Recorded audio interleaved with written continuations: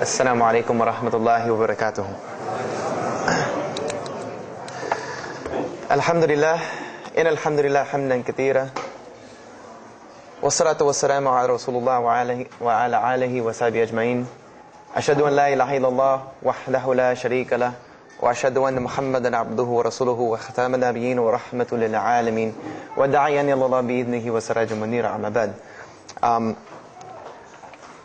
I'm going to tell you tonight about my journey from where I once was as a former Christian youth minister to how I got to where I am now. Um, there's a lot of bumps in the road. You know, it seems pretty clear. Yeah, you're a minister, and now you're a Muslim.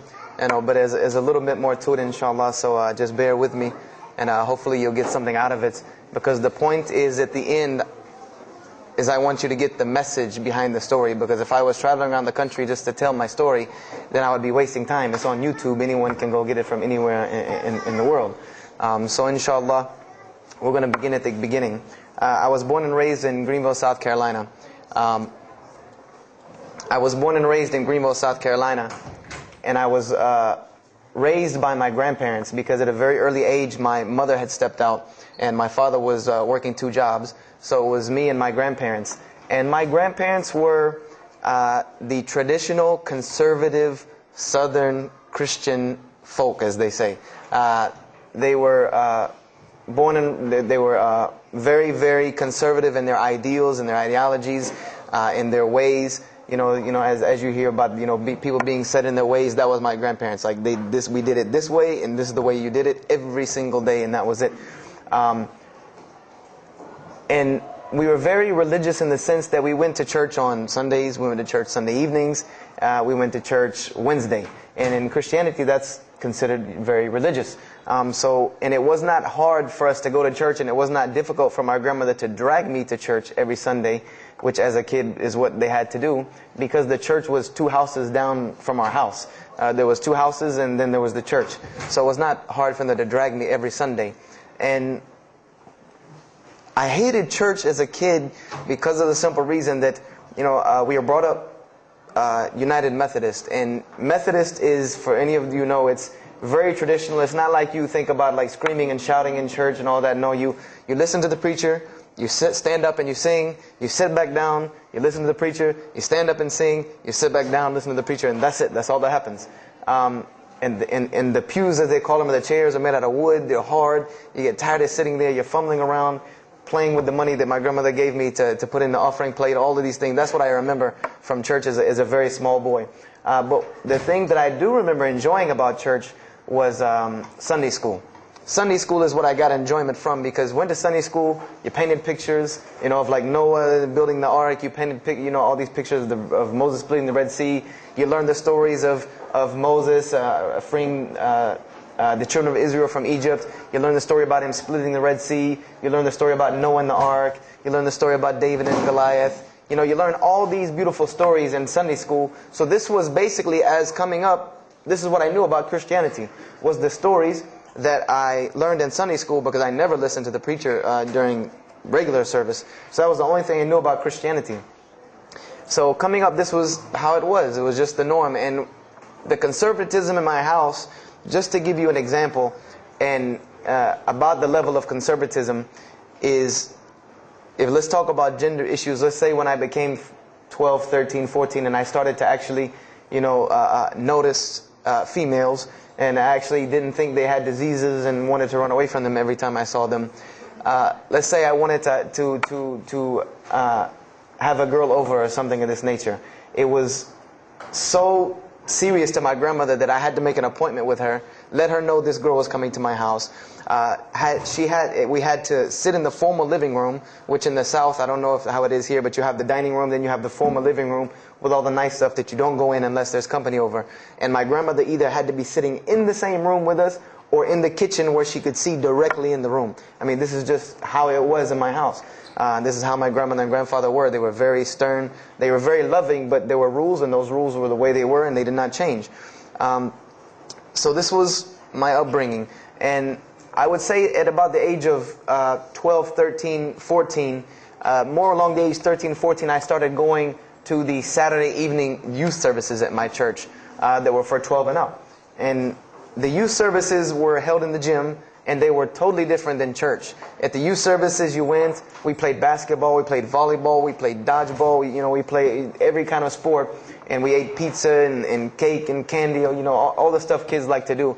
And at the end, uh, the, the youth minister, who happened to be uh, um, my caddy corner neighbor across the, the street, when I was 14, he was 17, um, he was the youth minister, so he would sit us down and give us a 30 minute lecture about uh, Christianity, about something about God, doing, you know, he would give us a 30 minute sermon, and, then, and that's how the youth services were. And going to these youth services, I, I met some other people who went to other youth services. They invited me to Young, uh, young Men for Christ and other, in, uh, other things that were going on in South Carolina.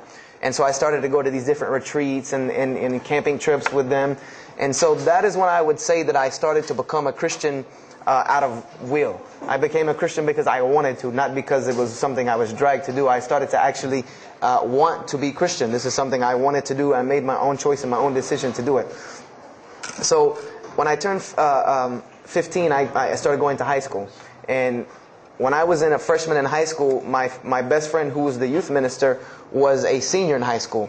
And I remember we, we had a very close bond because I, I, I had not have my license yet, so I used to ride with him to school every day. Uh, and it was a big deal for me to be able to ride to school with a senior, uh, especially since he had a you know a, a, a brand new, uh, or it was a brand new, but he had a restored '67 Mustang, which I've always been a fan of cars when I was a kid. So we, we had a very close bond, and we were very good friends because both of our parents were very similar. They didn't let us do much, um, so we, we, we, we spent a lot of time with each other. And when I became a sophomore, he graduated and started to attend Bob Jones University. Um, I don't know if that rings a bell with anyone, but Bob Jones University is a very prestigious conservative Christian college in South Carolina. Uh, it's probably the most conservative college I've ever seen uh, because uh, the Moody Institute is known as one of the most famous in this country, since Chicago. But Bob Jones is conservative to the point to where when it comes to men and women, like men and women are not allowed to get caught talking to each other in a room alone if they're not married, holding hands on campus. The men had to wear uh, button-up shirts or polo shirts tucked in with slacks or jeans. The women had to wear skirts uh, no jeans, skirts that came down to the ankle, and a shirt that came to the wrist. And this this is this was part of the guidelines for Bob Jones University. You know, you didn't party, you didn't you didn't drink, you didn't. There was none of this that happened at Bob Jones University. Um, and he started going there, and his major was uh, textual criticism. And um, textual criticism probably doesn't ring a bell with anyone, and to explain it in detail would probably take an entire another entire lecture, but just to give you a, a, a brief synopsis of what is uh, um, textual criticism. A textual critic takes the ancient manuscripts of the Bible, the pieces of parchment that were found all over the world, and he has to learn uh, Hebrew, Greek, Aramaic, Latin, you know, these languages that these parchments have been found in. And he has to take these scriptures and try to find out where they came from, uh, why there are variations in the many different versions of the same parchment. Let's say you have Matthew chapter 1 from the Bible. There might be 5,000 different variant readings of Matthew chapter 1 in six languages. And so he has to be able to take all these and sift through them, try to find out why there's so many variations of the readings, and then determine which one is the original. Um, and that's not as easy a task as it seems. You could figure, you know, which whenever the oldest is probably a more original, which is not the case since there are no originals. Uh, you might have one parchment that is the oldest parchment of the of the of the group, but it might be a copy of a copy of a copy of a copy of a copy of a copy with with laden with mistakes. And then you might have the newest part, parchment in the in the series that might be a once over copy from an original or a twice over, second copy from an original. Therefore, it would make the newer parchment more original than the older one. So it's it's not a very easy field uh, to go into. And he started studying textual criticism, and being that I was his best friend, I started studying textual criticism. Whenever he was, you know, doing his homework or research papers, you know, I was right there with him. Whenever he did a homework, he would always let me read it. Or when he finished his papers, he would give them to me. I would, he, I, he would pass down all of his papers to me. I would, every textbook, when he was done with it, he would give it to me. I started to learn a little bit of Greek, uh, a little bit of Hebrew. Um, so I, I, became, you know, started to become a layman's textual critic, and I applied to Bob Jones University in my sophomore year because a, it was a three-year waiting uh, process for Bob Jones. And when I turned uh, 16, almost 17, he, my friend came to me one day and he asked me a question that, that I had never really even pondered upon. He, he asked me, he said, Have you ever read the Bible? And I said, uh, no, in church. I mean, yeah, we've all read the Bible in church. You know, your parents make you open it up and look at it. And at the Bible studies I went to, Young Men for Christ, we did have Bible studies, and we'd read a few passages and talk for two hours about those few passages. But he's like, no, no, no. Have you ever read it? You know, like you read a book beginning to end. I said, no, I've I don't know anybody that's read. Nobody that I knew had ever read it, beginning Genesis one one to the end. He said, so, but this is the inerrant word of God, as we are taught. This is our instructions on earth why haven't we read it? You know, why have we not read this book? And I said, you know, that's, that's a very good question. Um, and he gave me a challenge, well, it was basically a challenge for us both. He said, let us start with Genesis 1 1 and let's read the Bible and let's see what God says to us. Because this is the inerrant Word of God, inspired to men, for instructions for us. So let us see what God says to us. If God can talk to the preacher through this book, why can't He talk to me? I said, You're right. Uh, I said, That's very good. I had a lot of time on my hands. Uh, I wasn't really allowed to do much uh, anyway after school, so I said, Why not? Let's read the Bible. Um, I, I, was somewhat nerdy as, as a 14, 15 year old, 16 year old. Um, so I, we started to read the Bible, and we decided to go from Genesis 1 1. And what we tried to do, this was the attempt that we made, was to not think of anything that we'd ever heard about Christianity, but to open the Bible and let's say I just found this book in the desert and read it and see what it says to me. Let it talk to us. So we started Genesis 1 1 and we started reading through the Bible. You know, we, we did some of it together and most of it I did by myself uh, because I, am a very, very quick reader, so I, I, I, decided to read a lot on my own. And as I was reading through the Bible, um, I started to notice the stories that I had heard in Sunday school. You know, you start reading Genesis, you read about Adam and Eve, we all know that story. Um, you started reading about uh, Deuteronomy, Exodus, you know, the stories of Moses, the story of, of Noah, the story of Lot and Abraham, um, and all these stories that I know.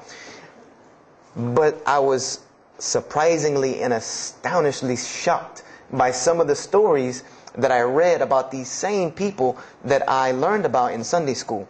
Um, just for instance, and, and this is a big testament to why Allah kept sending us prophets and why Islam was sent as a complete and perfected deen with the Quran.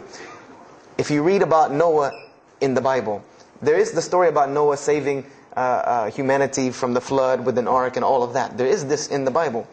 There's other another aspect to the story of Noah that, that not many people know about unless they actually take time to open a Bible. This will not be preached from any pulpit anywhere. Is that the, the Bible says that Noah was an alcoholic. This is the Bible's portrayal of Noah, or Nuh alayhi salam, that he was an alcoholic, he was a drunkard. This is the word used in the Bible, that he was a man given to alcohol.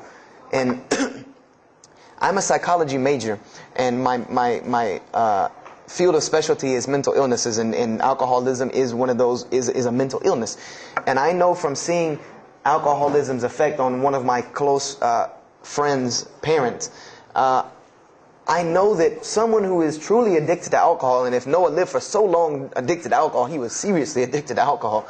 Um, it is hard for someone addicted to alcohol to hold down a nine to five job working at McDonald's flipping hamburgers, much less construct an ark to save humanity from a flood that's never happened. So that stopped me for a moment in my tracks. And I said, Noah was an alcoholic. You know, and, and it, it bothered me for a minute because I said, I, you know, things started popping in my mind like, if Noah was a drunkard, how did he know God was talking to him? Because, you know, I've seen some people, they're alcoholics, you know, you were just asleep in my dog's food bowl the other night, drooling, and now you're telling me you were talking to God last night. You know, this, you know, to rationally, that would not make sense to me.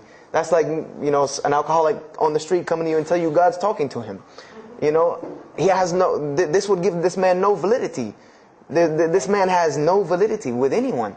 So I didn't pay it too much attention. It caught me, but I said, you know what? I'm going to keep going because there's one thing that you don't do in Christianity, and I'll tell you what it, was, it is in a minute when I started doing it.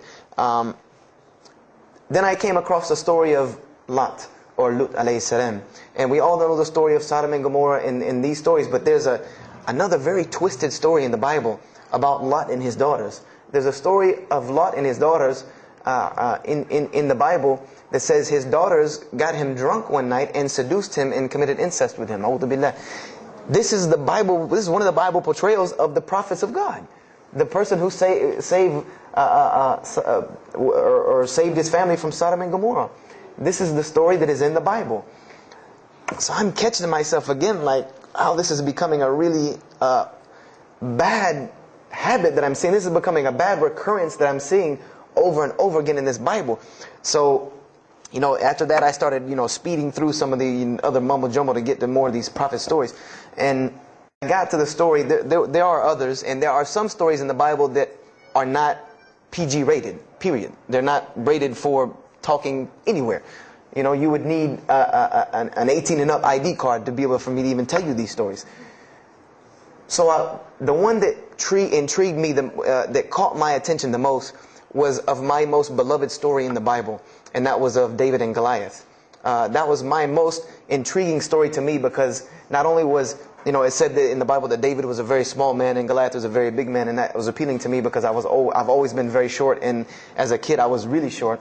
So, you know, I said uh, this was a very beautiful story to me, just in its prose and, and, and in its concept of overcoming. And so I started to read about David.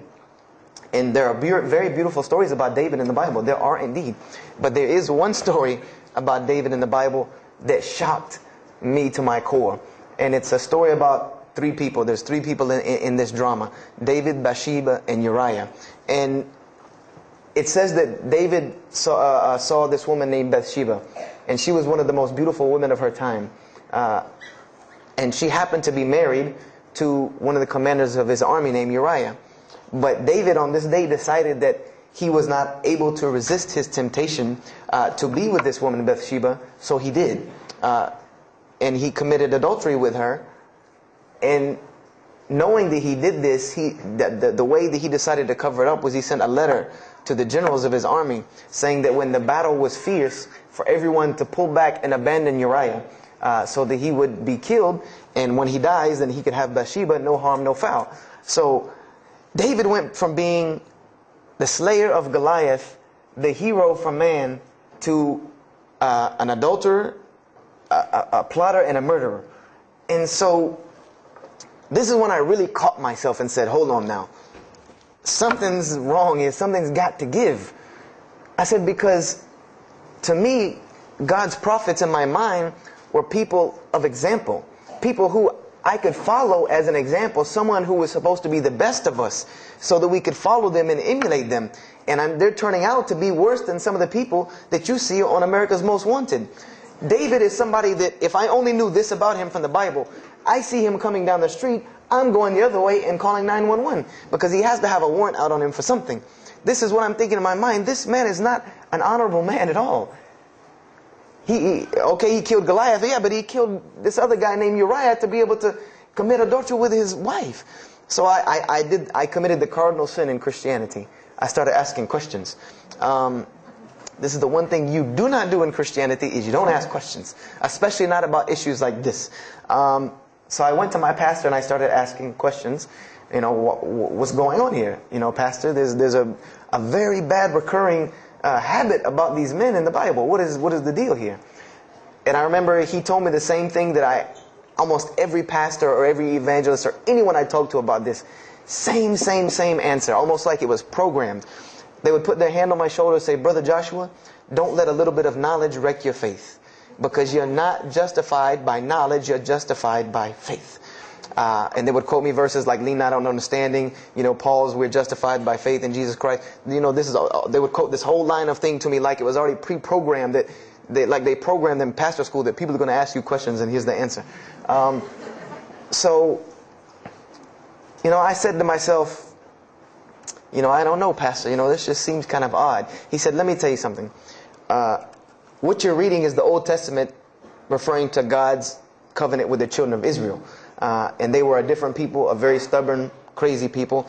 Uh, so why don't you move on to the New Testament? Uh, in the New Testament, you'll find the new covenant they were under with Jesus Christ, and I promise you things will change and be better. I said, okay, perfect. So I read all, the, went ahead and finished and got to Malachi and then started with the New Testament. So I, you know, I opened the New Testament. I said, here we go. You know, let's start all over again. But there were a few things that I had learned from the Old Testament that, that, that I wanted to keep in mind when I started to read the New Testament.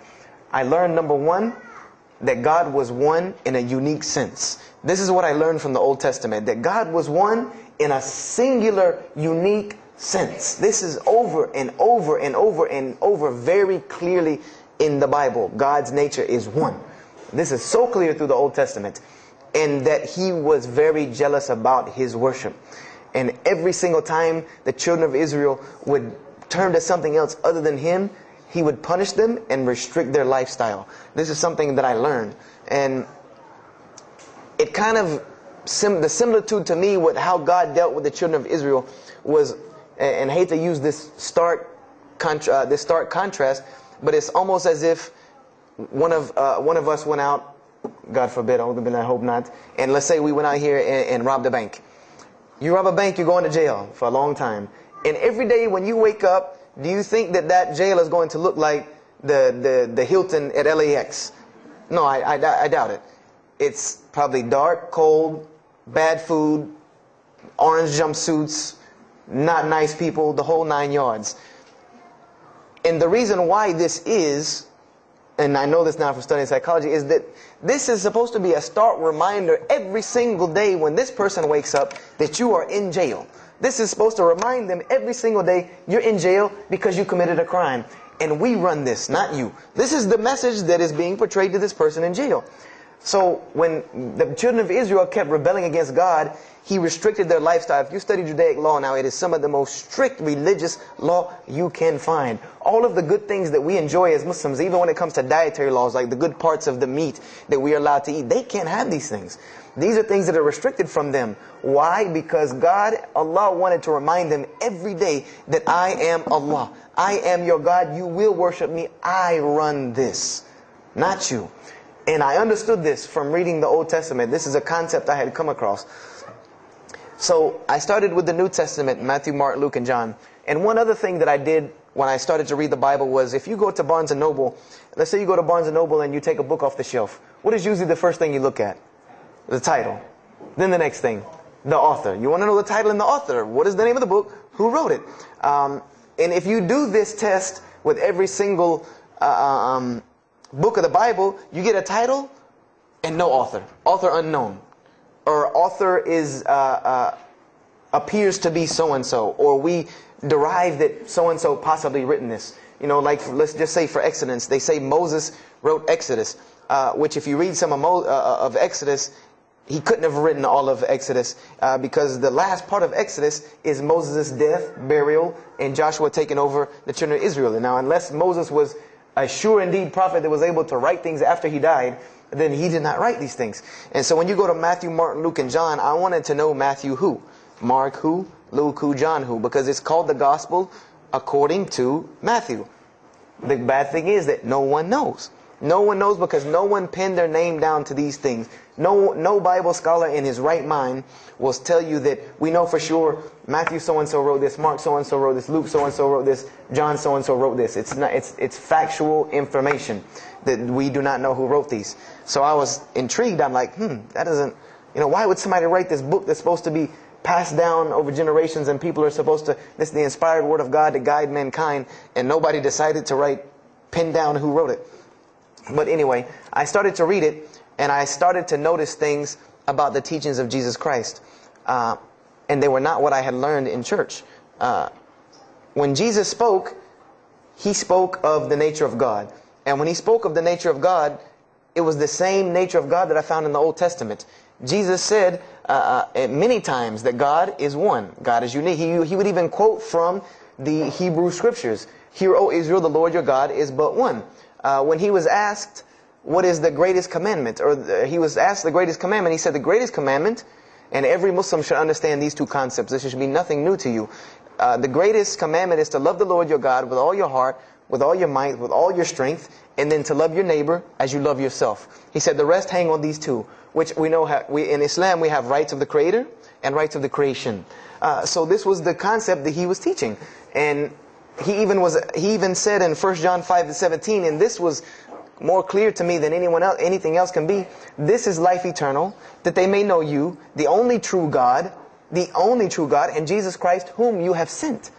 And when you look at that in the Greek and the Aramaic, it is almost exactly to a T of La ilaha illallah Muhammad Rasulullah. Now that I know Arabic and have understood that, very same similar statements. Yes, indeed, there were some implicit statements uh, about that you could implicitly, if you took them and separated them from everything else, you could maybe derive that Jesus was trying to claim some divinity or, or something for himself. But I also know from doing psychology, and I did a little bit of law too, that an implicit statement cannot override an explicit statement. An explicit statement always takes precedence. So if Jesus said God is one, and he anagorically may have alluded to God being more than one, then the clear statement overrides that each and every single time. Um, so this is what I found through the through the New Testament, and I also found that Jesus taught salvation, but his salvation that he taught was obeying God and following the commandments. This was his mode of salvation. One man asked him, "Good master, tell me how I, I can inherit the etern- uh, uh, eternal life." He said, "Follow the commandments." Follow the commandments. He even, in Matthew, was so sincere about it. He said, Whosoever shall follow the least of these commandments and teach men to do so shall be called the greatest in the kingdom of heaven. But whosoever shall break the least of these commandments and teach men to do so shall be called the least in the kingdom of heaven. So this I understood very clearly that Jesus taught the same nature of God that was in the Old Testament. He taught that the, the salvation lied in worshiping God and following the commandments. This I understood. Matthew, Mark, Luke, and John were very clear about this. You know, there were other things, the only begotten Son, you know, but these things were not in red letter, so I did not give them as much weight as what I did to the actual words that Jesus Christ was saying out of his own mouth. Um, so I read Matthew, Mark, Luke, and John.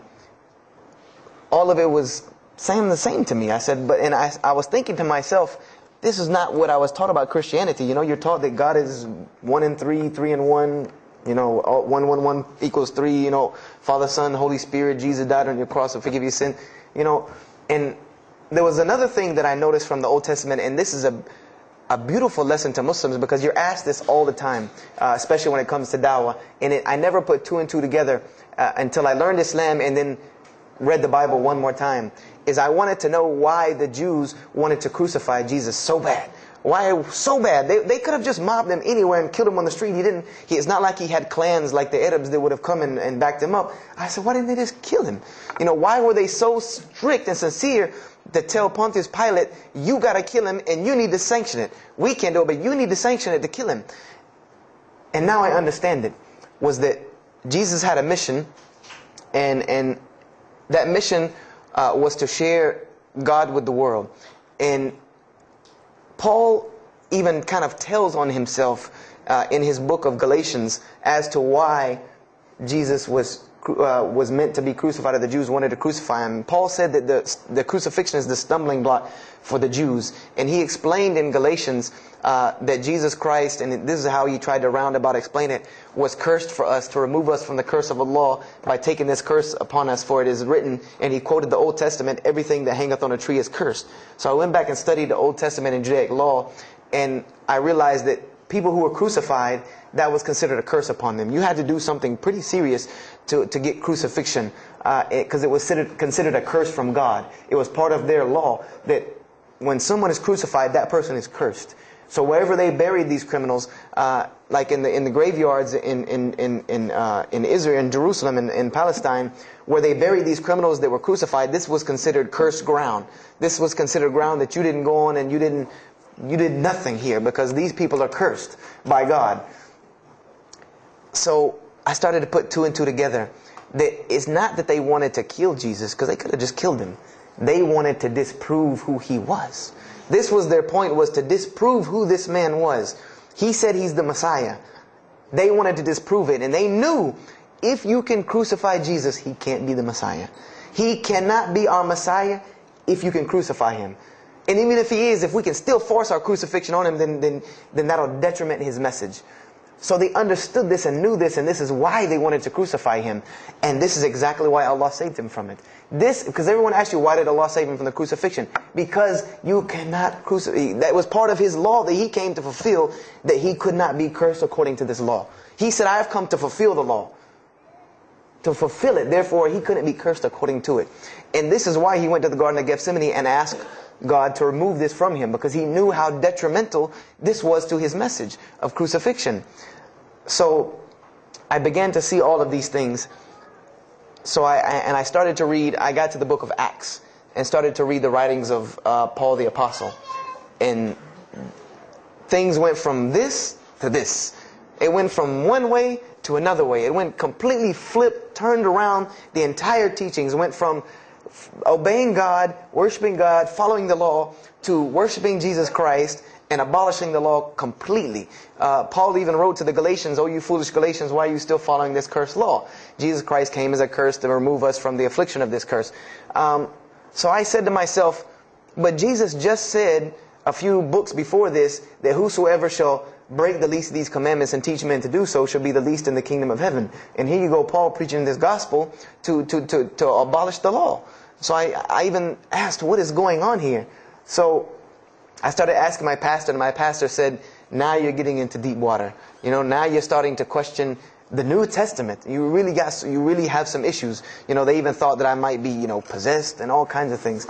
Um, so I had a very big conflict going on inside of me, and and my friend took me to his um, his uh, uh, um, textual critic uh, uh teacher, his professor, and what this man told me probably wrecked my faith in Christianity. And I, like I always say, I doubt he would be very happy uh, me traveling around the world telling people that a, a, a, Christian professor from Bob Jones University wrecked my faith in Christianity. Um, but he did. Because what I asked him was, what happened to all these contradictions? You know, in the in the Old Testament there are many contradictions. If you study Hebrew language, you'll understand that when you read some of the Old Testament or the Torah, that there are some parts of the Torah that you can see is the most beautiful Arabic that you can see, just I mean, the most beautiful Hebrew that you can see, just like when you read uh, uh, the Quran. It's very beautiful Hebrew, and then two chapters later, you'll see Hebrew that looks like a broken three-year-old who is, is trying to scribble some Hebrew down. It looks very colloquial, very dialectic. You can tell it's not the same person speaking. So I started to, I went and asked him about all this stuff I saw. and he told me, he said, um, what you have is a book written by men over centuries and centuries and eons and eons. And he says, and this book started as an original that was copied and copied and copied and somebody added a mistake and somebody came behind him and corrected that mistake and added two of his own. Someone came and copied it and skipped a line and added a line where it wasn't supposed to be. And then someone else came and copied it and took it to his country. And in order for it to uh, uh, fit well with the doctrine they were teaching, he would cross out a dot here or, or cross out a word here or change a word here so that it would fit with the, with the, the theological ideas of this part of the world. And he said, and after all these years, you have a book now that is compiled from all of this written by the hands of men that still have men's fingerprints left on it. And that's what you have. You have an imperfect, uh, imperfect book that is only perfected through faith. This is exactly what he told me, that this book is perfected through faith. You cannot perfect it textually. It's not a textually perfect book. Those who believe in it, believe in it by faith. And so I said, here we go again with this faith thing. You know, I said, God gave me a brain for a reason. Uh, if he did not want me to use it, he would remove this reason and logic part of my brain out and replace it with more faith. So, you know, and I was of the opinion, though, you know, as the saying goes, my, my grandmother didn't raise a fool. I'm no fool. I, you know, I said, I can't, I can't believe in this. You know, I mean, this, this book I've been taught is the inerrant word of God, and you're just telling me that it's a book of errors that's only perfect through faith. That's like me taking a, 1982 Datsun all beat up and saying, say, if you believe it's a really, it can be a Mercedes. If you believe. You know, that, that would make no sense. You can't take a car to the car dealership and say that. No, no, if you really believe it, if you look at it right, it's a Mercedes. So I said, no, you know, this, this is a, an, a book full of errors. And God's religion is perfect. If God has a religion, it's perfect. If He has a book, it has to be perfect because He is perfect. So I left Christianity completely. And um, I decided that I was, you know, I, I, I, had learned some concepts from the Bible. God was one. You couldn't fool me of that. You know, I, I had also concepted that there should be nobody standing between me and God because He created me without permission from anyone. Therefore, I don't need to be taking permission from someone uh, to go to Him. If I had to be forgiven for something, it should come from Him because on the day of judgment, it's going to be me and Him alone. Um, and I didn't know about God's prophets yet. You know, I, I had my, my, my, my doubts and persuasions about that. so I decided to start searching other religions. I went back to Judaism. I studied Judaism. I found the same thing that Jesus taught about spiritual, two spiritual Jews that leave the law and laws, Jews that were so caught up in the law that they left no room for spirituality.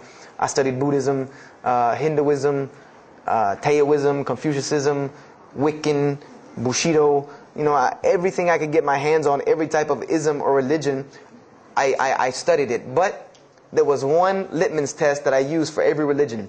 And when I saw, whenever I met them, or the people or whatever about this religion, I would always ask them, do you have a book? Do you have a book? Because another thing I had come to the conclusion of is that if your religion is true, you should be able to ha- tangibly hand me something and show me that this religion is true. Give me something that I can see. I don't want to hear that faith stuff anymore. I heard that all my life, and it look where it got me. It got me thinking I'm driving a Mercedes, running around in 1982 beat up Datsun.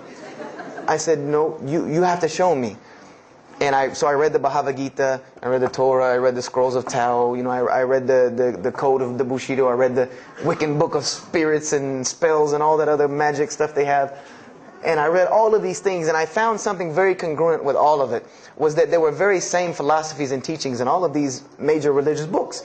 Uh, they all talked about God and His nature. Uh, most of them alluded to the fact that God is one and that God sends messengers to us and people to us to teach us but they were filled with a whole bunch of, of, of garbage, to be, to be honest with you, that I couldn't logically, rationally believe. Um, so at about the age of 17, just about the time, about 17, um, 17 and a half, I, I gave up my search for uh, God. And I became kind of angry with God because I said, Here I am looking for you, and I can't find you, and it doesn't look like you're giving me any help.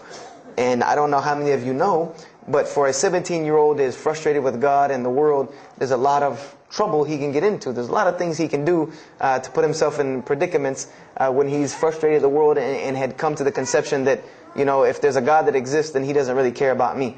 You know, that's a kind of a dangerous young man. Um, so I started doing the whole partying in trouble, um, uh, going to parties, drinking underage, all of this stuff I started doing. You know, I, I'm a perfectionist at heart. Uh, so when I was a Christian, I tried to be a, a, a, the best one I could. If I was going to switch to being uh, any other religion, then I was going to do that 100%. So you better believe when I went after the dunya, I, I did that 100%. Um, and you know, I was a martial artist uh, since I was 15 years old, and uh, even though it was only two years, you know, two years at 17, you think you know you, are Bruce Lee. Uh, so I got into a lot of fights. Uh, got kicked out of school, had to go to another school, got in one fight, got arrested for a fight, you know, and, and there were a couple incidences that stopped this downward spiral because I was on a very, very quick downward spiral that would, and I believe if I would have continued on that downward spiral, I would probably end up hurting someone, killing someone, or them hurting or killing me. Um, and there were two incidents that brought that to an abrupt stop, like pulling the emergency brake. And the first one was a car accident that I was in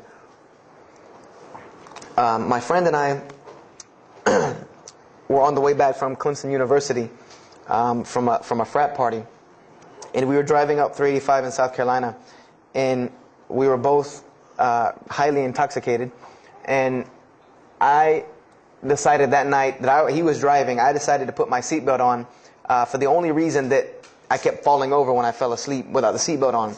It, because I didn't really believe in the seatbelt thing because I, I said if I'm going to die, I'm gonna die. You know, that's the conception that I come up with. That if you know, if it's time for me to die, it's time for me to die. I didn't believe in the whole tying your camel thing. Uh, so I put on my seatbelt, and I fell asleep. And the next thing I know, I remember waking up with the car shaking, and I woke up to, to grab my friend because I thought maybe he had fallen asleep. But when I woke up, the only thing I saw was the tree line and then the pavement coming right at my face, and the window smashing and the car flipping the whole nine yards and us landing in a ditch. And I remember getting out of the car. That was the first thing I thought. you know, I, I, I, I, number one, I couldn't believe that, you know, you don't really think about, oh, you're alive. No, you just move. I jumped out of the car and realized that I had jumped out of the back of the car that wasn't there anymore. Uh, it was still in the median on the other side of the highway, and the front part of the car was, was over in the ditch. And I drug my friend out, who was knocked unconscious, and pulled him over the side of the road. I had no injuries. I looked at myself trying to find what's missing, and there was nothing but a, um, a piece of glass stuck in my arm that I pulled out. And it just so happened that a state trooper was passing the other way uh, because he turned around and came back. And uh, when he came back, he, you know, he asked what had happened. And the first thing he asked me was, did you see what happened? Because there was other people who would pull over, so I guess he thought that I was a bystander because I started to walk towards him. He's like, did you see what happened? You know, where the people? I said, yeah, I, I, I really saw what happened. I was in the car. You know, and he was like, you know, as they say, like the, the color drained out of his face because he was shocked. He said, there's no, how were you in that car? You know, and uh, of course they took to the hospital. My friend got arrested, uh, DUI. Um, but before he put us in the ambulance, uh, he, he was a man of God uh, because he looked at me and he told me, he said, young man, you better realize that you're on this earth tonight for a purpose. Uh, the only reason you're still alive is that God has a purpose for you. Uh, if not, you don't live through things like that. People without purpose, if you didn't have a purpose, then this night would have been your night. So you need to realize that. I said, this old man's out of his mind. You know, if, if God had been looking for me, he had the opportunity to get me a long time ago. So don't tell me about that God stuff now. Um, so I paid it no attention. And about a month later, three, four weeks later, my friend and I, same two, he's on crutches still, we decided to go to New York City. We decided to just take off, drive to New York City. We didn't tell our parents where we are going. I, I said I was sleeping in his house. He said he was sleeping in my house for the weekend.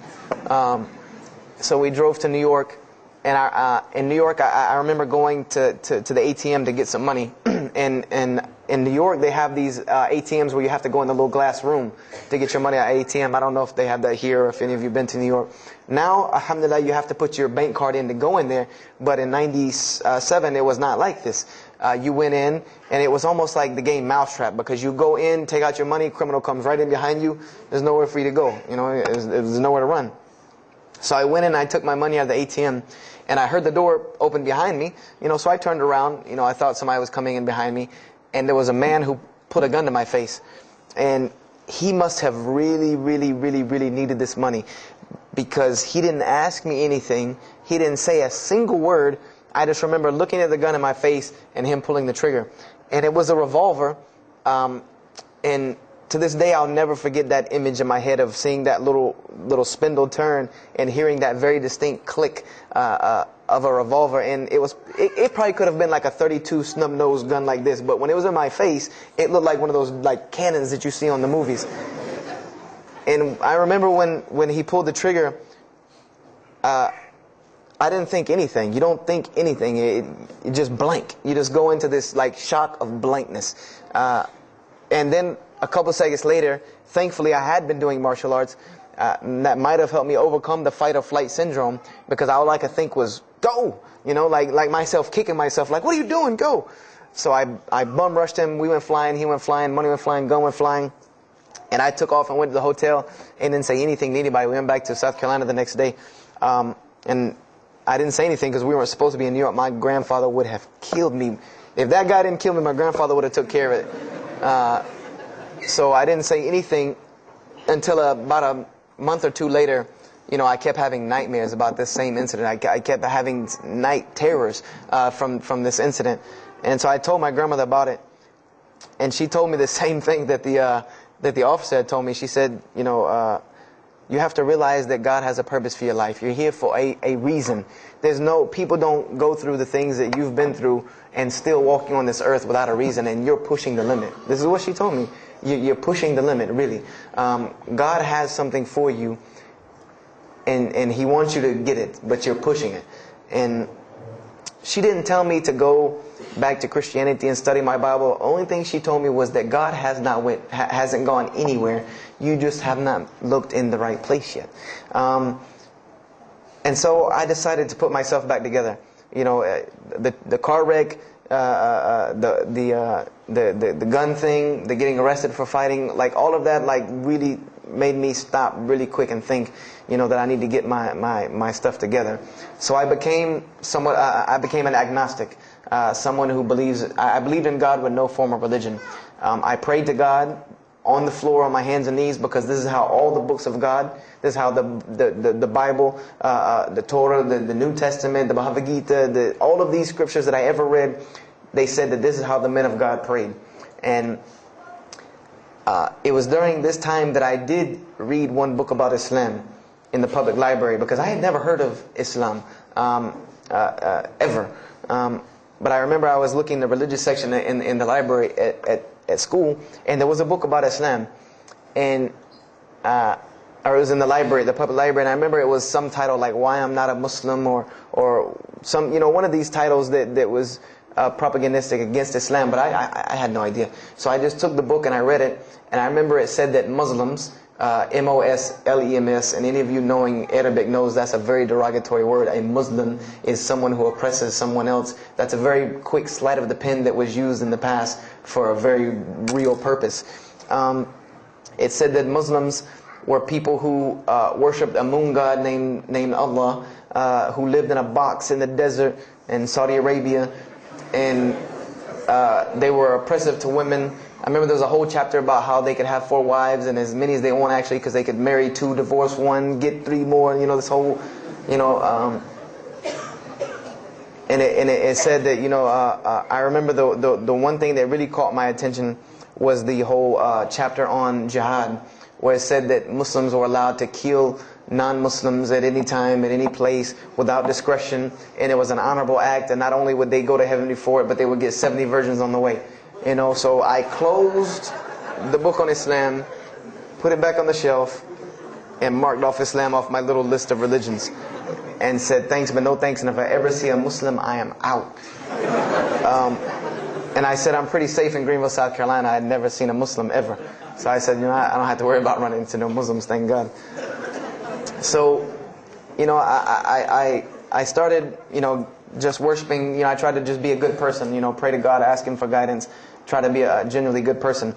Um, and I remember the, what changed is when I met a Muslim. I met a Muslim who I had met a couple of times at school. We had went to school together, and I knew him, but I never knew that he was Muslim.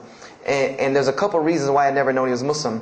Uh, because he was African American, number one, and the book said that Muslims were Arabs. And number two, I didn't know, you know, I thought Muslims ran around, you know, marrying as many women as they want and killing non-Muslims. I didn't know that they could also be part-time drug dealers. So I didn't know, I never knew that this guy was Muslim. I didn't put two and two together. So we were at his house one day, and me and my, my, my other friend, the one that, you know, I got into a lot of trouble with, I'm trying to keep him out of trouble now. Um, we were at his house and we were debating something about religion. I, for, I forget what even the topic was, but you know, you had two teenagers thinking they know everything. Um, and I was trying to explain something to him about the Bible. Uh, and that guy came in and, and was listening. He said, Have you ever heard of Islam? I said, Yes, I've heard all about Islam. he was like, Okay, so what do you think of it? I said, What do you mean what I think of it? That's probably the worst religion I've ever seen on the face of the planet. He's like, Why? And he's like, I'm a Muslim. I was like, man, stop playing. you know, like, you're, you're, you're an African American. You know, he's like, so? I'm like, the book said you guys were Arab. All the Muslims were Arabs. He, and, and he was like, what else did you read in the book? And I told him, he was like, man, what in the, you know, what have you been reading? He's like, you need to, to, to, to go uh, to the mosque for Juma. He's like, I, he, he told me, he said, I'm not a good Muslim. This is what he said to me. He said, I'm not a good Muslim. I, am not even going to uh, try to front and say I'm a good Muslim. He said, but I can guide you to some people that can tell you the real truth about Islam uh, because he knew about my story about wanting to find religion. And he said, you need to go to the mosque for Juma. And I said, what's, what's Juma? He said, it's just like church with no chairs. And I said, I can do church with no chairs because in church the chairs were the worst part anyway. Because they had these hard benches that you sit on that are like this and are so hard. I said, that's good. You sit on carpet? Wow, man, they should, every church should be like that. And uh, I said, where's the mosque? He said, it's on Hampton Boulevard. I said, where on Hampton Boulevard? I, I lived on Hampton Boulevard. I lived right off of Hampton Boulevard. He said, you know where Lee Road intersects with Hampton? I said, yeah, yeah, I, I live on the other side of that intersection. He said, it's right there. I said, no, it's not. There's nothing. There's a gas station or a church. He said, yeah, you know that church, the Evangelical Missionary Training Facility? I said, yeah, I used to take missionary classes there. He said, you know that building in, in the parking lot with the gold thing on top? I said, the, yeah, the gym? And he was like, no, that's the mosque. Because I had always thought it was the gym because it was in the same parking lot and it was just rectangular with two glass doors in the front. And you could literally walk in between the church and, and, and the masjid and touch them like this. Anyone doesn't believe me, go to Greenville, South Carolina, look at the masjid. You can almost touch both of them just like this. he said, it's right there. I said, I've never, you know, at first I was shocked. Like, I've been living across the street from all these crazy Muslims all my life. you know, I said, I never knew. You know, and he told me to go to Juma, and I asked him what time. He, he said he would meet me there at 1 o'clock in the afternoon on Friday.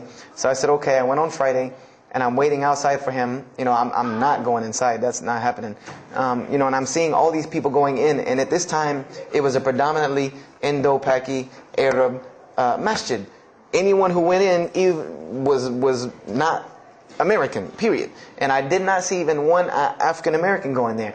And, and I did see one, and then when he went in, I heard him talking in a dialect that I realized was he was probably from Africa. So I said, he's not American.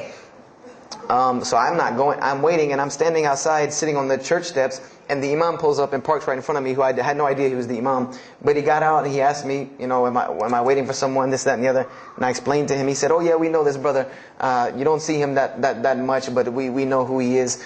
You know, he said, I'm glad you came. You know, he was a very, very nice, gentle young man.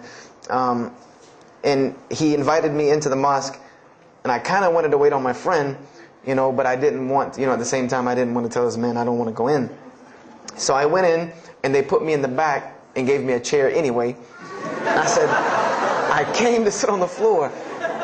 And they gave me a chair anyway, you know, and all of these people are piled up in front of me. And there's no Americans here. And I'm starting to wonder, you know, uh, if this is a setup, because it's starting to smell like a setup to me. Because in my mind, I'm like, you've been set up before, and this, this seems kind of like this. So, and I'm starting to think in my head, you know, scenarios, you know, a young mind at play. You know, I said, this, this, this other guy, my friend, he probably was in the same situation like me, and he probably made a deal with them to get out as long as he brought other Americans and tricked them into coming to the mosque so they could do their jihad after Juma and get their 70 virgins.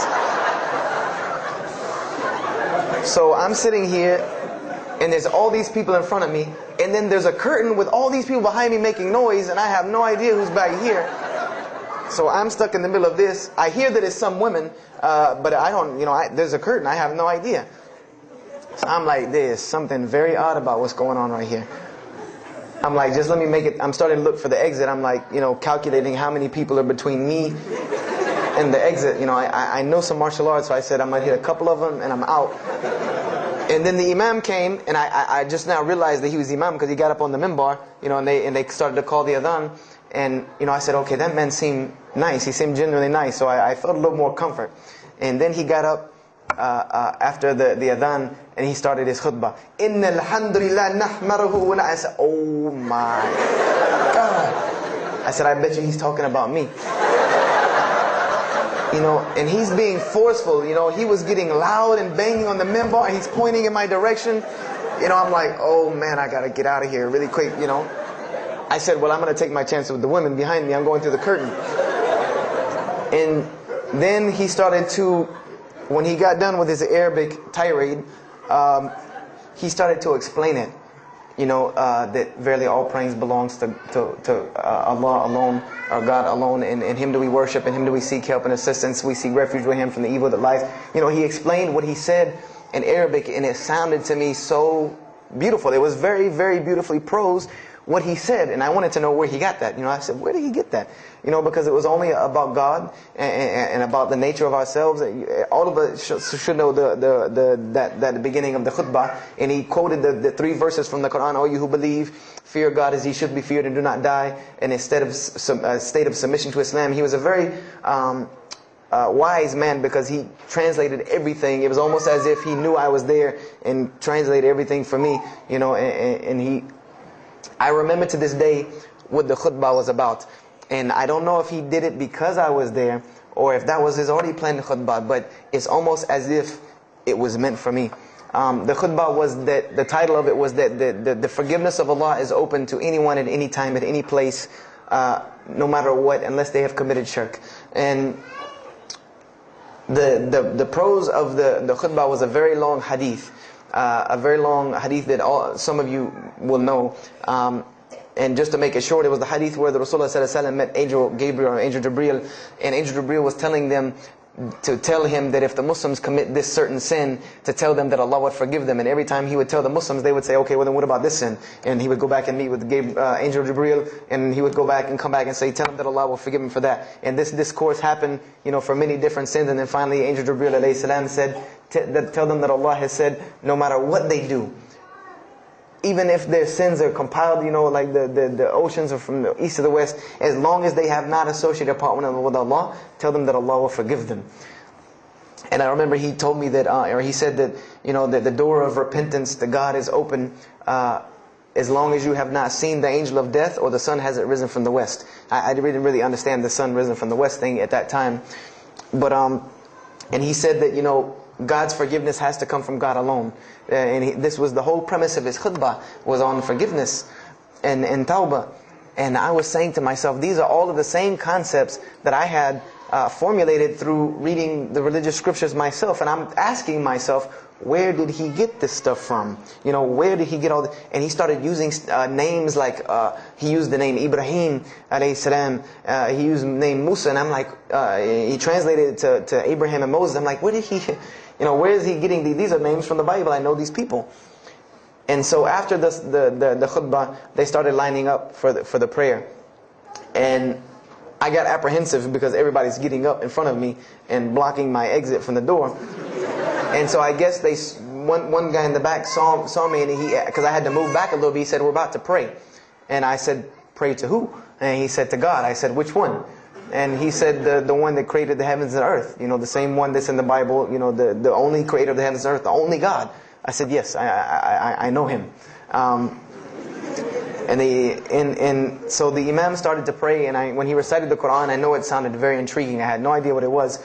Um, but then when I saw Muslims bow and prostrate on the floor, verses and verses of every religious book that I had ever read started ringing off in my head that this was the way men of God prayed. And the first thing that I could think of in my mind was, this is worship. That's what I said to myself. This is not prayer because prayers are asking God for something. These people are worshiping God. Uh, so I said to myself that you've written this, you've written this religion off way too easily. I, I thought I was a much more open-minded person than that, and I was ashamed of myself that I had written it off with just one little book. You know, I had put all this studies into the other religions. I read this one thing about Islam and was done. So I went uh, to the Imam after the after Jummah. you know, he talked to me, and I would have to say that I was probably a little bit rude with him. Um, and I've asked him to forgive me. The, you know, I saw him a few years later. I said, "You got to forgive me for the first time you saw me," because he started telling me, you know, uh, would you like to know a little bit more he, he, had a very heavy accent, he was an Egyptian brother. Would you like to know a little bit more about Islam? He tried to give me some pamphlets. I said, no, no, no, no, I, I, don't, I don't want any of this right here. I said, do you have a book? This is what I wanted to know. Do you have a book? Can you give me? He said, yes, we have a book. Uh, I, I, said, it's called the Quran. I said, can I read it? Uh, uh, is it in English? Can I read it? He said, sure, you can read it.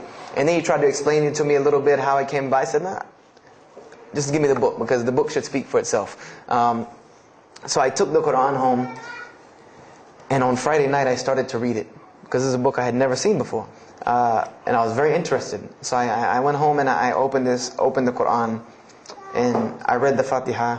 It seemed to me kind of like the Lord's Prayer. You know, it was a little, little similar to what I found in the Bible. Um, but then I started to read Surah Al-Baqarah. Uh, I started to read Surah Al Imran, and I started to see names that I had seen before. I started to see names like Abraham. Moses, David, Jesus, uh, Yahya, John the Baptist, Zechariah, Mary. And I said, I know all of these names, but there was something different about these people in this book. Uh, the prophets that I found in the Bible uh, were people that were deplorable, of, of not very character. these same men in the Quran were someone who were at the highest echelon of moral character and moral fiber. They were someone that was an example to be followed because they lived the message that they preached. Therefore, they were uh, able to be followed and emulated. So, I read all of these chapters and I, and I read the story of, of Jesus. Uh, peace be upon him. Because when I saw the name Jesus first, I, that really intrigued me. I wanted to see what does this book have to say about Jesus. And I read the, the story in, in, in, in, Ali Imran and I read a story in Surah Al-Maryam. And it was so, it was, it was more beautiful than anything I had ever read in the New Testament or any, any nativity story that I had ever heard. It was more beautiful than that times 10. Uh, the, I remember the only thing that I could capture my mind was the miracle of how uh, because in the Bible you never really figure out the conflict of how Mary gets over this this um, point, finger pointing at her about her coming with a with a baby and she's not married. Uh, there's no real into that. There's no real defense for her uh, from this in, in, in, the New Testament. But the Quran is so explicit and so clear that Jesus' first miracle was to speak from the womb as a, to speak as a baby and defend the honor of his mother, something that you cannot deny, something that you cannot deny about her who Mary was when you have this baby speaking on her behalf. So I would say I read the Quran entirely in three days. But that first night, after I had made it through Surah Al Imran, my heart was already given to this book. I, I, I, didn't know what it meant to be a Muslim. I didn't know how, how to be a Muslim. I didn't even know what that meant. Uh, but I knew that whoever it was that followed this book, I wanted to be like these people. Uh, I wanted to be like the people that I read about in this book. Uh, these were people I could follow. These were prophets. This was a book of guidance. And this was something that the book is calling and appealing to me. That if you don't believe in this book, you never see that. I've never seen this in any other scripture. The direct challenges that are in the Quran. That if you don't believe this book is true, put it to the test. Put it to the test. And this was something that was so astounding to me. That God is telling you over and over again, if you don't believe this is the truth, test it. Bring me something else like it test it, put it to test. If it was written, if there was more than, I mean, all of the analogies about God, everything was so logical, so rational, so reasonable in my mind that it was like 2 plus 2 equals 4 and that was it. There was no 1 plus 1 plus 1 equals 3, egg, yolk, water, fight. There was none of that foolishness. The Quran was very direct and very straightforward in its teachings. So I gave my heart to Islam uh, that night in, uh, in my living room reading the Quran. And, you know, and I, I cried and cried, you know, that I had been looking for the truth all this time, had searched all this way, and it was right across the street. Right across the street from my house. And so I went back on Monday uh, to accept Islam and ask these Muslims where in the world they've been all this time. And I go, ready to go in there and, and, and do my thing, and I go and the masjid is locked. And because there was they only came on Fridays and for Isha uh, during that time, and I didn't know. Uh, so I said, okay, I, I, guess I have to come back on, on Friday. Uh, because every time I passed by the masjid after that, it was always locked. So I came back on Friday and I, and I took my shahada, you know, and as they say, the, you know, the rest is history. Um, but I don't travel around the world, and this was in December of 1998. Um, I don't travel around the country and the world telling my story, you know, just for the entertainment value.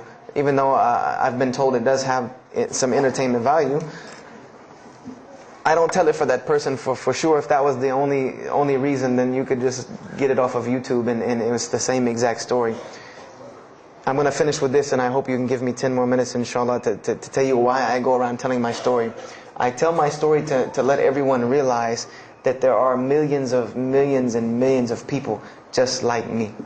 Just like me in 1998, searching for the truth, can't find a way out. There are millions of people. There are probably millions of people in California, hundreds and thousands, if not millions, right here in the, the, the in, in Orange County and Los Angeles in the Southern California area that want to know the truth, that are tired of hearing the same garbage preached to them over and over again, tired of this uh, shaitan box telling them the same thing over and over again, tired of the world being in the condition that it's in, tired of their life being in the condition it's in. And we as Muslims have the solution to every single one of their problems. And guess where we keep it at? Right here inside the masjid. Right here inside the masjid, we have all of this truth. We have the solution to every problem in the world.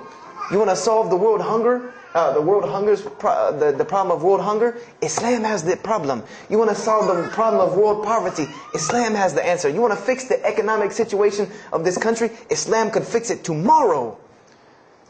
And this was in an op-ed piece in the Washington Post. In the Washington Post, there was an op-ed piece that the, the two markets that are falling apart in this country are investments and, and, and, and housing. And there are two people in this market that while the, the rest are bottoming it out, this market is steadily climbing. It's not shooting, uh, getting rich overnight like people want to, but it is continually going up, and that is Islamic financing and Islamic housing markets. These two things are so steady and so strong that uh, uh, economists in, in DC are trying to figure out how they can take some of these Islamic principles some of these, from these investing and housing firms and plug them into this system to give it some stability because they realize that you won't get rich overnight in the Islamic system, but it will be stable. It will be something that will give stability. So they are starting to find out that Islam has the answer and the solution to their problems. But we already know this. We already know this, that we can solve every world problem with Islam, would put it into it. But the problem is, we're hiding it from the people. Unfortunately, willingly or unwilling, knowingly, unknowingly, we are hiding this from the people. And there's a statement in the Quran and that, that Allah warns the Jews about what they did with their religion. And it is a statement that is left in the Quran for us that verily those who conceal the evidences and the clear proofs, after we have made it clear for them in the book, they are those who are cursed by Allah and cursed by those who curse. Until and unless they, they repent and reveal that which they have been concealing. Those I will accept their repentance because I am the one who accepts it, the most merciful. We have become guilty just the same way the Jews have of hiding the truth about their religion. When they saw the Prophet Muhammad they knew the truth and wanted to hide it. People, we know that we know the truth about Islam and we are hiding it we as Muslims are running around begging Allah for dignity and honor and help when He has already given it to us in this deen. Everything that a Muslim could ever want has already been given to him in this deen of Islam. Anything that you ask Allah for, there is an account set up for you to go take it out of. You just got to find it where it's at. And any of you, I'm not going to go through the ayahs for they're too long, but if you want to know the solutions to every one of your problems in this world and the hereafter, just go read Surah Al-Saf, ayah 10 through 13. Very, very easy solution. If I had the time, I would read them to you, inshallah. But we have the cure to every disease in the world. And, and we're not giving it to the people. And I want to use this as a parable because I really want this to hit home with you. Uh, let's say, what is your name, brother? Abdullah, mashallah. Let's say me and Abdullah are, are, are best friends, we're brothers in deen, we're roommates, and we've been roommates for years and years and years. and let's say brother Abdullah has uh, contracts an illness, a disease that is one of the most painful diseases that any human being can ever, ever go through in his life, and it's not something that is going to kill him quick. Let's say this disease is going to suffer and fester with Abdullah and make him not be able to eat, sleep, nothing. He, he's just miserable all the time. When I come home in the, in the evening, he's rolling around on the floor in pain. And, and let's say I know him in this condition, and let's say one day I come across the cure for his disease. Someone tells me that if you give this to Abdullah or anyone like him, he will be instantly cured and, and he will never suffer again. Um, and let's say I take that and put it in my pocket and I don't give it to Abdullah. Why? Why don't you give it to Abdullah? Well, number one, I'm way too busy. I have two jobs, going to school, you know, I have a long commute back and forth, you know, I gotta drive up and down the 405 every day. I don't have time to give Abdullah this medicine, man. If he wants the medicine, he'll go get it himself. I don't have time, I'm really busy. Number two, I'm not a doctor. I, I should not be prescribing Abdullah medicine and I'm not knowledgeable in medicine. He should, if he wants help, he should go see a doctor. I'm not a doctor. Number three, Abdullah's, uh, please forgive me, but Abdullah's kind of stubborn. He doesn't really listen very well. He probably, he, you know, he's kind of set in his ways. So even if I tell him this medicine is good for him and it'll cure him, he probably wouldn't even take it anyway. So why waste my time? Do any of these ex- excuses sound familiar? And let's say I don't give this medicine to Abdullah and he dies. And let's say he dies the most painful death that you can ever imagine. I want to ask you a kind of rhetorical question. I want to ask you kind of a rhetorical question. Do you think on the day of judgment that um, Allah is going to call me and Abdullah up and ask him about this incident between me, him, me and him because I've oppressed him? I have oppressed him. I've allowed him to suffer knowing that I could ease his suffering. I'm sure Allah is going to ask us about this. But you know the beauty about Islam is that if Abdullah was a good Muslim, bore this uh, disease patiently and died, he dies as a shaheed, uh, inshallah. And on the day of judgment, this is how beautiful Islam is. That he could very well come before and Allah ask us about this and Brother Abdullah say, you know what? Allah, I forgive him. So you forgive him. This is the beauty of our religion. And Allah, Allah will forgive me. But the disease I want to tell you about is the disease that every single non-Muslim walks around with every single day and they don't even know it. It has no, it has no real physical symptoms. And that's the disease of shirk. The disease of being jahl, being ignorant about Allah subhanahu wa ta'ala. Allah gives them life and they worship someone else. Allah feeds them and they thank someone else. He created them and fashioned them in the womb of their mother and knows them better than they know themselves. And they have no idea who He is. They don't even know who He is. If that doesn't pain your heart to see a person in this condition, then, then, then for sure the hearts have become hardened. Because when I see non-Muslims, especially when I sit in places like airports, I see this disease. I see it on them. I see them walking around with it. And there's so many of them passing me, I think to myself, there's no way I could talk to all of them. There's nothing I can do. And this disease is something that not only is not going to show up as a physical symptom and is going to leave them ignorant about Allah subhanahu wa ta'ala, but when the day they die, they will die the most physically painful death that anyone can ever suffer. The Rasulullah said that when the angel of death comes to the disbeliever, it doesn't come kindly. He yanks the soul through the nose and it's as if he, he, his flesh is torn from his bones. It's as if they take Brother Abdullah and turn him upside down and stuff him in a human paper shredder. This is the death that is waiting for those who do not know Allah subhanahu wa ta'ala. And you know the unfortunate thing? That while you've been sitting here listening to me, thousands of people have died. Thousands of people have lost their life not knowing Allah while I'm talking to you right now. People in this city have lost their life and there's nothing we can do about them. They're gone. It's too late for them. We can't save them even if we want to. And that's a deplorable, deplorable, sad, sad fact that we can't save them. But there are many, many, many, many who we can save.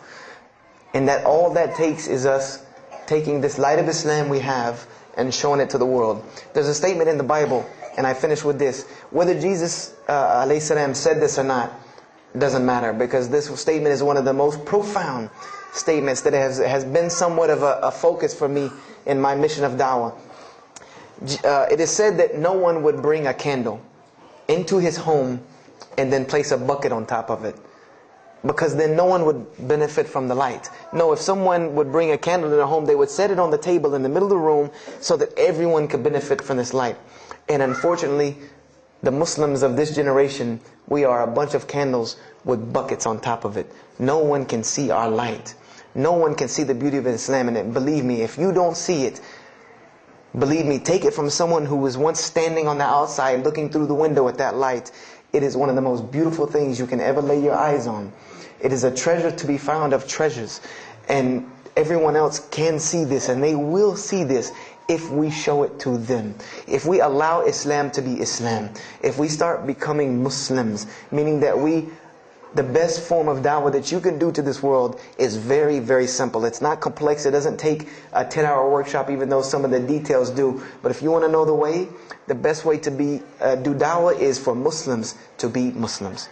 That's it. Study our history. Study the history of Islam. Why was the world conquered by Islam? Not through military campaigns and wars, but through Muslims being Muslims. The most populated Muslim country, Indonesia, was because of Muslims being Muslims. A few Muslims deciding to get up off their behinds and go to another country and live their life as Muslims, not shaving off their deen to be pleasing to those people, but being Muslims. And when the people asked them and inquired, what is it about you backwards Arabs that we've heard all these crazy things about? Now you come out of the desert with pristine moral and character, and, and you you have better ethics and morals than we do. What is it that has happened to you people? And their answer was, La ilaha illallah, Muhammad Rasulullah. That we believe in Allah and He has sent us a man named Muhammad and we emulate his lifestyle. That's why we're like this. This is what conquered the world for Islam. This is what conquered people's hearts for Islam was the truth and the beauty of it and its simplicity of its message. This is what brought me and this is what the world needs. With all of this foolishness going on in the world, this is what it needs, the simplicity of Islam, whether they want to hear it or not. They know it in the bottom of their heart. When you show them the truth, even if they turn away from it, they know it's the right thing. They know it's the truth. And on the day of judgment, you can stand before Allah subhanahu wa ta'ala having washed your hands and saying that I did my job. And I finished just one more thing. I finished with this. If you don't believe this is important, if you don't believe this is one of the most important things you can do as a Muslim, um, then the last statement of Prophet Muhammad to the Muslims as a whole, he gave his farewell sermon. And we know that his, what his farewell sermon was, was a summary or a synopsis of what Islam is and its general principles. And he knew this was the last thing he was going to say to the Muslims as a whole. And how did he end this sermon? Those who are here, pass this on to those that are not here. For verily it may be that the last one that hears my message may understand it and those right here among us. He gave a command to those Muslims to pass it on, and for those Muslims to pass it on, and for those Muslims to pass it on until there was no one left to hear this message. This was a command he gave, the last command he gave to this ummah as a whole. And then what happened? He pointed his finger to the heavens and said, O Allah, bear witness that I have indeed conveyed your message. And upon saying this, what happened? Allah revealed the surah, This day I have perfected, perfected for you your deen and completed my favor for you and chose for you Islam as your religion. And the last statement that Prophet Muhammad gave to us before this was revealed was that we must pass this message on. He gave us that duty. He took that duty that was only reserved for prophets. No one else, no other if you don't believe me, go read Surah Al-Bayyinah about what was uh, uh, commanded of the other nations. No other nation was given this opportunity and blessing to pass on this deen except us. Because there are no more prophets coming. So the, the job falls on our shoulders. Qurans are not going to fall out of the sky and hit people when they're walking down the street. This job has now become ours. And just like if the Prophet Muhammad had not done his mission, he would have been accountable before Allah. We, if we do not do our job of spreading this message of Islam, we will stand before Allah on the day of judgment. Don't be the person standing before Allah on the day of judgment and your neighbor that you've known, your coworker that you've known 15, 10, 15, 20 years come and find you and tell you, you knew this day was coming. You knew this day was coming and what was going to happen to me and you did not say anything to me. And those people will complain to Allah about us. They will complain to Allah about us. Because we have the truth right amongst them and we're not giving it to them. We need to stop hiding it in our masjids, in our homes, in our hearts, and we need to give it to the people. It's beautiful, trust me. Just hand it to them. Just hand it to them. I promise you they'll take it because it's something that is so pure and pristine. And I forgive me for probably going over my time. And if we have time, I want to leave some time for questions and answers. Um, I just, and I will be outside to take any questions and answers. Uh, the only last thing I want to uh, announce and let you brothers and sisters know is um, one of my big, big, biggest dawah projects is a DVD project that I do. And my goal is to put a DVD about Islam in the hands of every single uh, uh, person in the United States of America. Uh, right now I'm working on Florida and other, I have other brothers working in other places uh, because people will watch a DVD. We did studies on this and people will watch media they, before they'll read a book or before they'll listen to an audio CD. Uh, and alhamdulillah, through these DVDs we've gotten uh, I would say an average about two shahadas a month uh, because my personal contact info is on the DVDs and people watch them and they call me and I converse with them and, and usually they most of them accept Islam. Um, I just had a shahada the day before yesterday from Irving, Texas from someone who had bought the DVD and given it, a Muslim had bought it, gave it to his friend. His friend hated it or didn't want it so he gave it to another person and that person gave it to a co-worker at work who watched it and accepted Islam. Um, so this is one of my biggest projects and the way this project works is I make 100 DVDs, and I brought two of them with me today. I'm going to explain what they are. The way this project works is I make 100 DVDs, and 75 of them go out uh, to different dawah uh, arenas. And the other 25 I make available for Muslims to purchase for two reasons, so that they can be, uh, so that I can buy another 100 to make, and so that you can share in this ajr along with me. Because when you purchase a DVD that makes another DVD or you give it to a friend, then you share in this ajr with me. And everyone knows that da'wah is the biggest pyramid system because of the hadith Rasulullah sallallahu that one who uh, calls to guidance is gets the same reward as the one guided without that reward being lost from him. So um, I, I make these DVDs available to the to the Muslims so that you can put a little effort in da'wah and and and and make another hundred inshallah. So I brought two today and they're outside.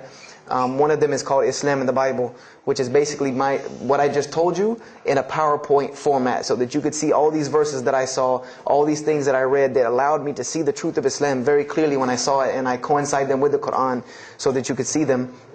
And there's another one um, called, the other one's called The True Gospel of Jesus Christ, where I go through the New Testament. Well, first part I think is an interview about me um, and my story to Islam, and there's some other Q&As on the other DVDs about nature of God and all these different things. But um, it's a PowerPoint presentation about the New Testament and Jesus Christ and how you can prove to someone that Jesus Christ taught Islam from the New Testament, from their own book, that they have to agree. They either have to believe it or reject it. And if you believe it, then you have to believe what I'm saying is true about Islam. If you reject it, then this is your book, not mine. So, you know, the, I try to use these two teaching methods, um, and they, they also can be given to non-Muslims because they're in a format. They're in a very educated format, and they're available outside for uh, ten dollars each. Um, so if you please, if you could, please don't make me take any of them back home because they always hassle me about taking 200 DVDs on an airplane anyway. Um, so please come and get them. And if you have any questions, uh, my contact info is on there and, and everything. If you have any more questions for me and my website and everything. I thank you for your time. And if anything has been of benefit, know that truly all good comes from Allah subhanahu wa ta'ala. And if anything that I have said is incorrect, uh, or, or, or, hurtful or, or, shameful, know that, that indeed that comes from, from my own nafs and my own lack of understanding. أقول كذا هذا واستغفر الله لي ولكم فاستغفروه إنه هو الغفور الرحيم السلام عليكم ورحمة الله وبركاته